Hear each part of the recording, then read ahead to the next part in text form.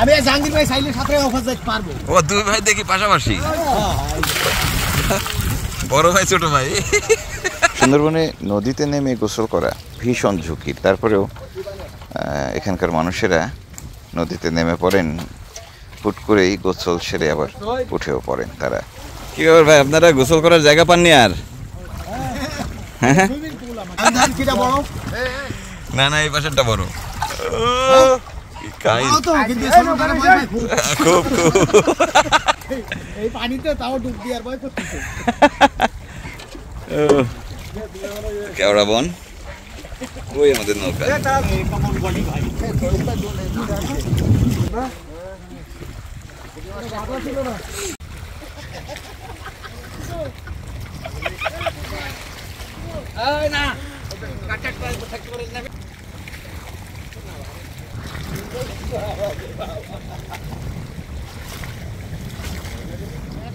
আমি সচরাচর খুব বেশি ঝুঁকি আহ, নিতে পারি না নিও না। সে কারণে ট্রলারের উপরেই গোসল সেরে নিলাম।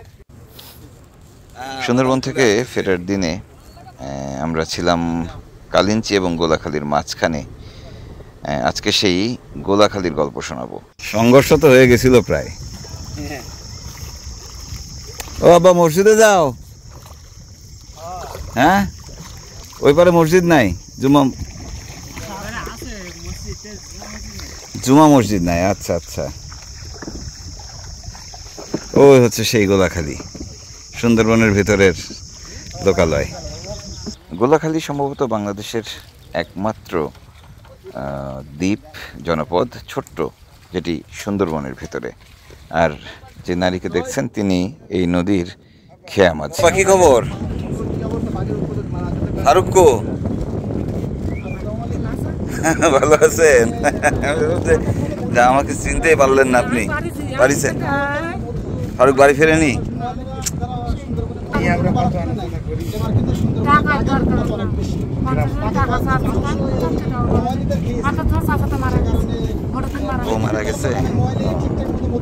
কত রকমের বিপদ যে মাথায় নিয়ে ঘুরতে হয়, তার কোনো হিসাব নেই মানুষদের। যাই হোক, আমরা যাচ্ছি ওই পারে গোলাখালিতে। এ খেয়া তো আপনি চালান। হ্যাঁ খারাপ হয়ে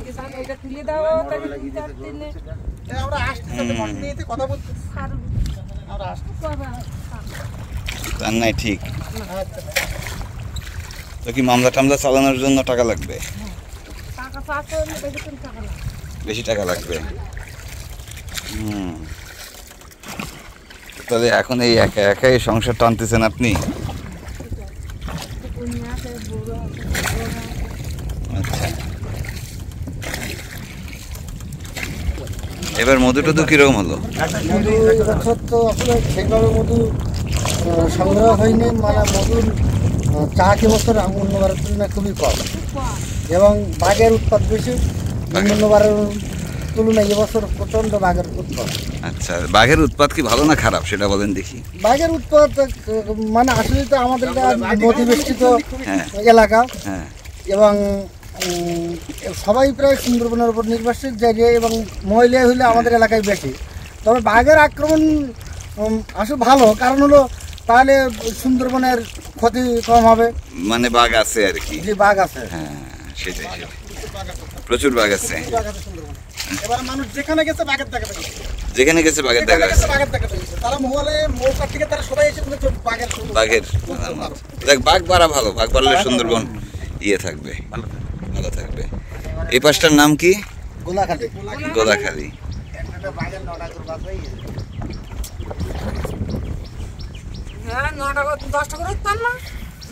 গেছে। সামনে দেখছেন গোলাখালী মূলত মাছের ঘের। আর সম্ভবত সত্তর আশিটি পরিবার রয়েছে। এবং এই মানুষগুলো সবসময় বাঘের আতঙ্কে থাকেন। আবার সুন্দরবনের নানা অপরাধেরও অভিযোগ আছে এখানকার মানুষদের নামে। তো তিনটা বাঘের বাচ্চা রাখার রেকর্ড আছে। আছে নাকি? হ্যাঁ? আছে না?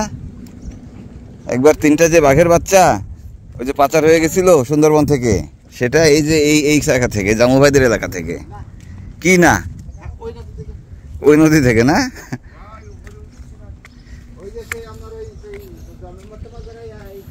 মধ্যে মুরগির ঘরে রাখা ছিল। হ্যাঁ। এই যে হচ্ছে গোলাখালি আমরা গোসল করতে যাচ্ছি। ও বাবা এখানে হ্যাঁ দেখি মৌমাছির চাষ হয়।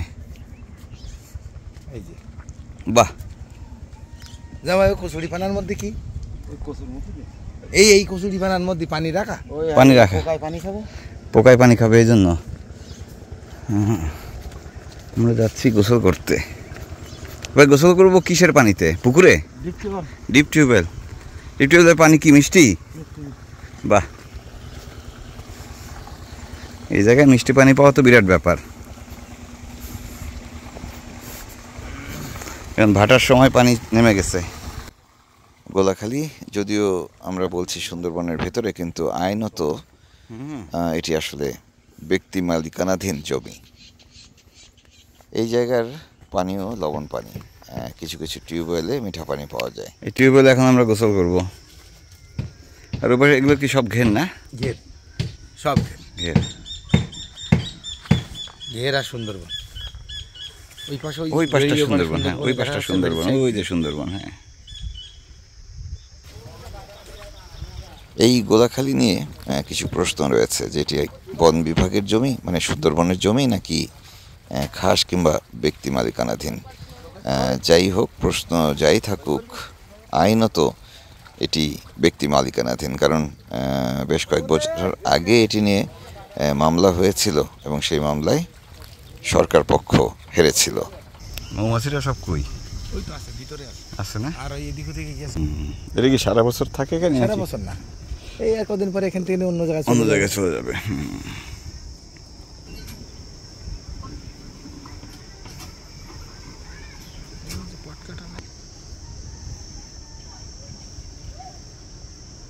যাক চলেন আমরা আগাই।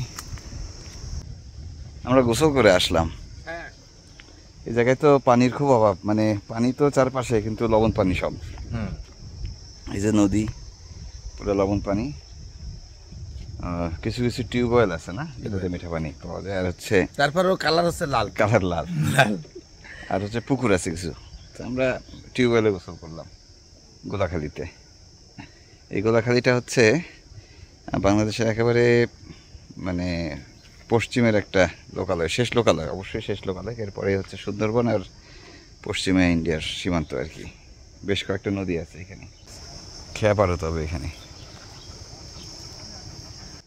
আমাদের ট্রলারটি আছে নদীর মাঝখানে আর একেবারে উল্টো পাশের যেই লোকালয় সেই জায়গাটির নাম কালিঞ্চি।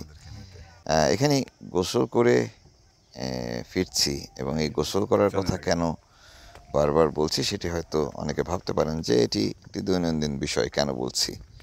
আসলে কয়েকদিন পর মানে লবণ পানিতে কয়েকদিন ধরে গোসল করার পর একদিন মিষ্টি পানিতে গোসল করতে পারাটা যে কতটা স্বস্তির সেটি আসলে এইসব জায়গায় গেলেই বুঝবেন আপনারা। হুম। বাবারে বাবা সাবধান। কাদা খুব পিছলা।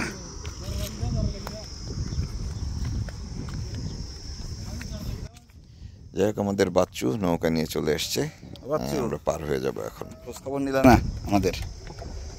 হ্যাঁ কবে? হ্যাঁ? আজকে থেকে কাজের চাপে পড়ছো। কারণ তোমার সঙ্গী সাথীরা সব মধু সঙ্গী সাথীরা সব মধু কাটতেছে। আমরা পার হয়ে যাচ্ছি কালিঞ্চিতে যাচ্ছি এবং কালিঞ্চিতে একটু হেঁটে বেড়াবো। আসলে ট্রলারে থাকতে থাকতে একঘেয়েমি চলে আসে। ট্রলারে রান্নাবান্না চলছিল সেদিন দুপুরবেলা তাই ভাবলাম একটু কালিঞ্চিতে নেমে হেঁটে আসি। অনেক পরিচিত মানুষ রয়েছে সেখানে আর এমনিতেই মানুষের সঙ্গে কথা বলতে আমার ভালো লাগে। কথা বলে আসেন। শাড়ি দাও। শাড়ি দাও। এ তো সুন্দরবনের জ্বালানি না? ফল সুন্দরবনের ফল। হুম। এগুলো কি ভাসে আসে? নদীতে ভাসে আসে। হ্যাঁ ওই ভাসনা আমরা এই রান্না করি। এই ছাড়া কি করব? আমাকে নদীতে যাওয়ার মতন পদ্ধতি নদী বন্ধ? বন্ধ তো। ট্রেন চলবে কি করে সামনের দিনগুলো? ওই টানা টানা দিতে হবে এই ছাড়া আমরা এইভাবে ছাড়া তো বাঁচতে পারব না। টানাও তো টানাও তো নিষেধ। তা টানাতে আপনারা আমরা খাতি দেন নাই তো আপনাদের বোটে আমরা উঠবো। আচ্ছা আসেন আসেন আসেন। আসেন খাদ্য দিব আসেন অসুবিধা নেই। দুটো বাচ্চা আমার দুটো বাচ্চা কেরা খাতি দেবে। আমি কত সময় দেবো। এদিকে কারেন্ট বিল দেবো সংসার চালাবো এদিকে সুমিতে চালাবো কোন দিকে চালাবো? এখন চলার বলতে আপনার ওই ইয়ে পোনা টেনে ধরা হ্যাঁ ওই আমার শাশুড়ির কাজ হলো ওই আমার কাজ হলো ওই। আমার খুব কষ্ট কষ্টের উপর দিন যাচ্ছে। আরে। নানা রকমের সংকটের বাইরেও সুন্দরবনের মানুষ জ্বালানি সংকটে ভোগেন। চলেন চলেন চলেন। তো এটা তাহলে ফারুকের বাড়ি? ফলের একটা কাহিনী আছে। কাহিনীটা হলো কদবের এই ফল যদি এইভাবে নষ্ট করা হয় তাহলে কিন্তু আমাদের এই নদীর চর দিয়ে বন বসবে না। বসবে না হ্যাঁ এটা রাস্তাঘাট ঠিক। সব বড় বড় সিডরে সব শেষ হবে। হ্যাঁ? না আমি তো ভাইকে এমনি গল্প বলছি। হ্যাঁ তাহলে জ্বালানি এনে দেন তাহলে এর কথা তুলবে না।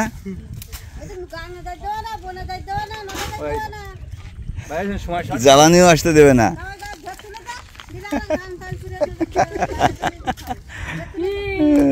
চলেন। হ্যাঁ হ্যাঁ তা দেবেন। হুম। হঠাৎ করে বিদ আরে ভাবিরা বলি কি? ওই হচ্ছে আজিজের বাসা না? কোনটা? ওই যে ঘরটা দিয়েছে ভাই। ওই ঘর? জি। আচ্ছা। আর আর সরকারের দেয়া ঘর কোনটা? ওই যে ওই এইটা এইটা। হ্যাঁ ওইটা নিয়ে তো যত কাহিনী। দেখ এই ঘর ভালো হয়েছে তো না? যাক যাক যাক। হ্যাঁ মেজে পাকা যাক ভালো হয়েছে চলেন। আর হচ্ছে প্রধানমন্ত্রী এক লাখ টাকা দিছে। এক লাখ সত্তর। মোট এক লাখ সত্তর হাজার। হ্যাঁ। এই দিয়ে মোটামুটি গোছায় ফেলছেন। হ্যাঁ। সাবেক বনদস্যু আজিজ ভাইয়ের বাড়িতে যাচ্ছি। ওকে।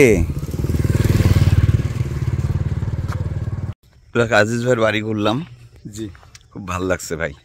আলহামদুলিল্লাহ ভালো ভালো আছেন আপনারা? হ্যাঁ। এটাই হচ্ছে বড় কথা। আর আপনারা বাইশে রেগে গেছেন আল্লাহ বাইশে আপনাদের হেল্লা আসি বলেন তার দিন তো মেরে দিলে আমরা কোথায় ওই নষ্ট যেত। একটা ডাবের কান্দিতে যেটা ডাব ছেড়ে যায় কান্দিটা অনেক বড় ফাঁকা দেখা যায়। কিন্তু ওই ফাঁকা আমাদের যদি দিতেন তাহলে তো ফাঁকাই যেতাম। ওইরকম ফাঁকা। কিন্তু এখন সব মিলিয়ে আমরা বউ বাচ্চা মা বাপ সুযোগ নিয়ে সুন্দর পরিবেশে খাচ্ছে যাচ্ছি বেড়াচ্ছি আলহামদুলিল্লাহ খুব খুশি আল্লাহ খুব শান্তি রেখে হেভি শান্তি রেখেছে আমি মনে করি। যাক অনেকদিন ধরে আমি এই করতেছিলাম। ছ বছর পর আপনার সাথে বনে গেলাম আজকে ছ বছর পরে। হ্যাঁ তাই আমার ধারে কাছে তাই যাক মানে আসব আসব করতেছি অনেকদিন ধরে। আশা হলো। আল্লাহ। দেখা হলো আপনার আপনি একটু সাথে। বাইরে যান সাগরে যান আমার একটু ফোন দেবেন আমার একটু ঘুরতে যাব আমার জীবনে সাগর সব আছে জানি মনে কত মানে সুন্দরবন যায়নি মেলা বছর সেই সারেন্ডার করছে ছয় বছর আগে? জি আমার একটা সুন্দরবন যাক নিয়ে যাব না একবার। একটু নিয়ে যাবেন ওটা ঘুরতে।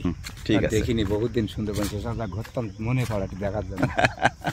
ঠিক আছে আমরা ঘুরতে যাব না একবার। আপনারা থাকলেই আমাদের নিশ্চিন্তা থাকে। না আমরা এই এলাকায় যাই জঙ্গলে তো যাই না বাঘের ভয়তে। প্লাস গেলি ফের আবার খারাপ মনে করছে। খারাপ মনে কে কি মনে করে? এই জন্যই সরকার লোকের সাথে অথচ আজিজ ভাইরা একসময় সারা বছর সুন্দরবনেই থাকতো সুন্দরবনের ত্রাস হিসেবে। যাক সেই দিন গেছে। আমিও আজকের পর্ব শেষ করছি। ভালো থাকবেন সবাই।